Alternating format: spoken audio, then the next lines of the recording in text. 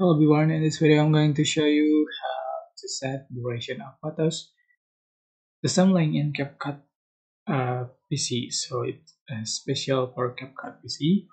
You can go to menu and select settings and then select edit and you can find the image version option. Just change for this, for example, I'm going to change for the one second for one clip and then click save and just to the track your images you like to edit so you can see for one clip it's um, one second for duration every clip is one second so that's how you can uh, set the duration of photos the same link in CapCut PC. I hope this tutorial was helpful for you. Don't forget to like, comment, share, and also subscribe. If you have any question, please leave in the comment section below.